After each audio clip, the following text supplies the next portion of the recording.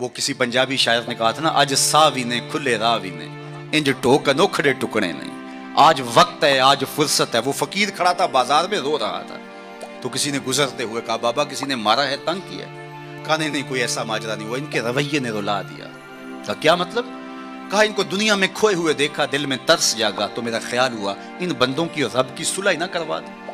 तो कहा, फिर क्या हुआ? कहा, मैंने उससे बात की, आवाज़ आई, ले आ मेरी चौखट पे। एक आँसू से सारे गुनाह माफ़ कर।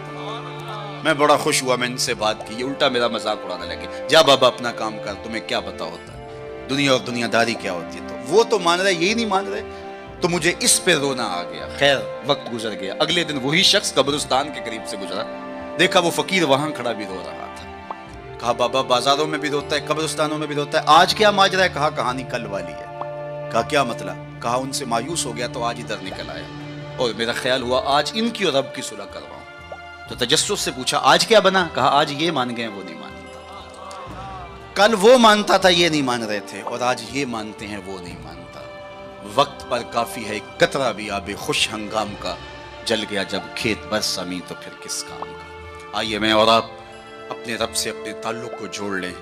अपनी ज़िंदगी को कभी भी नमाज़ से महरूम न रहने देना। सोने से कबल पाँच उंगलियाँ भी गिन लेना और पाँच नमाजें भी गिन लेना। उस शख्स से बड़ा बदबख्त कोई नहीं है। जो रब के हजूर सजदा रेज नहीं होता ये बदनसीबी है किसी शख्स की कि उसकी पेशानी को सजदे का नूर नसीब ना हो। बाज लोग कहते हैं, मैं मैं नहीं करता सजदा। मैं कहता हूँ, तू कौन है? बदबख्त तुझे रब अपनी चौखट पे बुलाता ही नहीं। इतना बदनसीब हो गया है कि तुझे धुतकार दिया गया हैया अलसला हैया पाँच वक्त सदाए दिल नवाज़ सुनता है, लेकिन तेरे कदम नहीं उठते, तुझे तौफीक नसीब नहीं होती।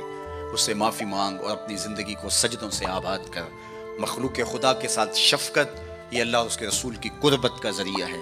मेरे वालद गिरामी फरमाया करते थे, अगर तुम चाहो कि हुजूर तुमसे प्यार करें तो हुजूर की उम्मत से प्यार किया करो। आप किसी के बच्चे की गाल सहलाएँ, उसको प्यार करें तो उसके बाप के दिल में आपके लिए प्यार पैदा हो जाता है। तो हुजूर की उम्मत से प्यार करेंगे तो हुजूर तुमसे प्यार करेंगे। अल्लाह आपको सलामत रखे, दुनिया आखिरत की बरकतें आपकी रूहों में डाल दें। इकबाल के सारे कलाम का रस छोड़ें तो खुलासा ये निकलता मोहम्मद से वफा तूने तो हम तेरे हैं। ये जहाँ चीज़ है क्या? लोहो, कलम तेरे हैं। इकबाल कहते हैं, हजूर से वफा करो, कलम भी तुम्हें दे देंगे, तख्ती भी तुम्हें दे देंगे। फिर जो लिखना हुआ खुद ही लिख लेना। फिर तुम्हारी तकदीर के फैसले कहीं और नहीं होंगे। खुदा बंदे से खुद पूछेगा, बता तेरी रिजा लेकिन शर्त है कि तुम उनके हो जाओ।